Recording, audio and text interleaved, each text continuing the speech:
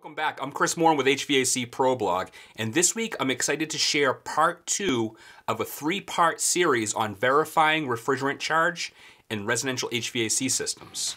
If you missed part one, we released that last week. Make sure you watch it so we can pick up where we left off. Without further ado, here's how to diagnose undercharged and overcharged refrigerant systems. So let's move along. So if you guys can see here, remember that visual I was talking about? If you add refrigerant and you get a balanced charge system, what you'll find is the superheat is gonna be somewhat balanced with the subcooling. So in this idea here, you can see the target subcooling for this TX valve was 10. This particular older system had a target TXV of, of superheat um, as high as 20 but you can see there's liquid halfway up the evaporator, there's liquid halfway up the condenser. It's a balanced system, and this system's gonna operate efficiently. Really simple. Obviously, we don't need to add or remove refrigerant to this unit. And keep keep in mind here, the, the subcooling could be as low as 7 or as high as 13, and this system will still pass manufacturer's specs and operate efficiently. What I can say though is if you have a micro channel coil, adding a little bit of refrigerant, you could be a half an ounce to an ounce. I mean, it's amazing how fast the subcooling stacks up and changes because there's just not a lot of volume of refrigerant in the condenser. That's why you have a lot lower subcooling values in those condensers, okay? So really important, Go slow and watch the system as you add ounces of refrigerant. So we have a TX valve in this particular example. The valve is maintaining the correct superheat, 20 degrees for this, but you can see our subcooling is as low as zero to two. I would start adding refrigerant in order to get that bucket to start to fill. And in this case, we want to get close to seven, eight or so and stop. Because then as the system runs, we're going to continue to subcool that liquid and it's gonna start to uh, rise up and get really close to 10. So you, when you add refrigerant, you wanna go to the low end tolerance and then stop and wait a few minutes because it's gonna start to then subcool the liquid and you're gonna get really close to your target, all right? If I was to go to 10, it's really easy to overcharge it. Then it would start to climb and creep. It could be 13, 14, 15, all right? Really important. If you stop at the low end, you're always gonna have a properly charged unit. All right, then you only do this once. This is what it typically looks like on um, electronic gauges, right? You can see your superheat's okay. In this case, I have low subcooling. Um, if the target superheat was 11, right? Um, and I have low subcooling, how would I fix this with a TX valve? Um, I would start to add refrigerant, make sure the valve continues to maintain the right superheat, and my subcooling starts to rise, okay? Really simple, just like the previous screen I showed you. All right, so let's uh, look at what, what it looks like with a fixed orifice and it's undercharged. Um, because you have a fixed orifice instead of that valve in this picture, uh, it's gonna start to flash off really fast because we're not stacking up any liquid in that, uh, in that coil. And it's gonna flash off really fast and it's gonna have a really high superheat because we're actually gonna continue to pick up heat after it flashes off past saturation and much more surface area now for that coil. So in this case, we could have as high as 30 degrees of superheat and we'll have really low subcooling. So because of that, as I add refrigerant here with that fixed orifice, the superheat starts to go down as, as it goes up, right? And the subcooling starts to rise. Um, so superheat goes down, subcooling goes up, and we get to more closer to a balanced system. So I'm watching the superheat as I'm adding refrigerant with that fixed orifice, but I'm also verifying that my subcooling's starting to rise because if it goes at really crazy, I got other things going on. I can't just continue to get the superheat right and overcharge the heck out of that unit, right? Kill a compressor. So you have to look at both sides of the system. In this example here, you can see um, when we add refrigerant to an already sufficiently charged unit, I gotta ask you guys, think about this. Where does the refrigerant go? It's got to go somewhere, right? The system's already charged, but somebody says, oh, those pressures look a little low, I'm going to add some. I'll, I'll, take care of you, Mrs. Jones, right? And they put another pound or two in. Um, it's going somewhere, and I'll tell you right now, if you have a TX valve particularly, it's stacking up in the condenser. The valve will probably protect that compressor and make sure you maintain superheat. It's really simple to start slugging that compressor if you have a fixed orifice though. So the refrigerant that's overcharged starts to back up with the condenser. Now what happens is it reduces the desuperheating area and the condensing area because it's all stacked up with liquid. All right. And in order for to compensate for that, your head pressure goes way up And when that happens, it's because we have to have a bigger temperature difference across this little section of coil to reject the heat and get it below saturation, right? We have to, remember, we have to uh, subcool that system. We have to condense the liquid, okay? If there's already all this stacked up liquid, we got to do it in this tiny little area now, and no wonder your head pressure's through the roof. So typically that's a, a dead giveaway that something's going on. Either there's non-condensables or it's an overcharged system when your head pressure's that high, right? Uh, but you got to look at both sides of the system. Maybe there's something else going on that you should look for.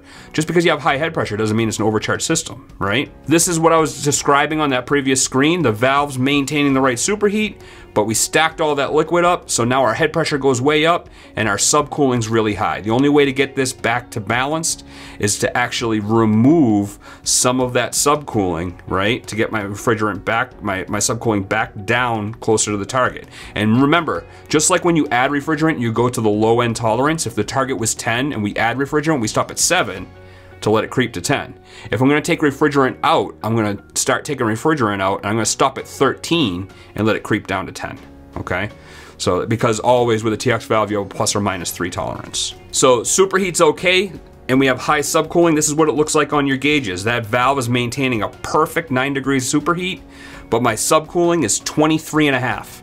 The only way to get it down is to take refrigerant out, okay? Overcharged with a fixed orifice. So just like a valve, when you have a TX valve, when you have overcharge with a fixed orifice, you have really high subcooling, right? And really low superheat. We're gonna flood that evaporator and it's not gonna boil all the refrigerant off and we're getting dangerously close to zero degrees of, of superheat and it's gonna start slugging the compressor. The only way to get this up, the superheat to go up, is to remove refrigerant. And remember that tolerance. If the goal here is to get to 20 degrees of superheat, we take refrigerant out till it gets to 15, and then it's gonna start creeping up to, to 20, all right? As that happens, your subcooling should also come down, okay? Low superheat, high subcooling, notice it's opposite. Anytime it's opposite, low and high, high and low, you have a charge issue. In this case, low superheat, high subcooling, it's overcharged. Think about this. If you have the same indicators, High superheat, meaning let's say this TX valve is shut down or we have an undersized fixed orifice or there's a restriction. We can't get enough liquid into that coil.